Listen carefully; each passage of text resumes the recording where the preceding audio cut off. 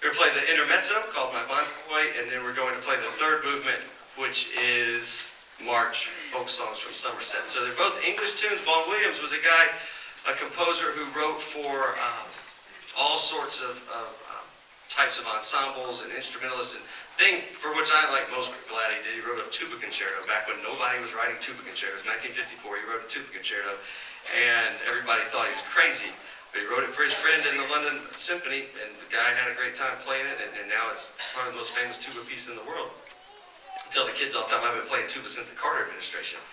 Um, and that, that's a great piece and one that's a lot of fun to play. But Vaughan Williams, more importantly perhaps than that, was one of those guys that was writing for orchestra and for churches and for choirs, and he figured out that he could write serious music for band when nobody was writing serious music for band. Bands were playing transcriptions all the time. This one is such a cool band piece that he transcribed it for orchestra later.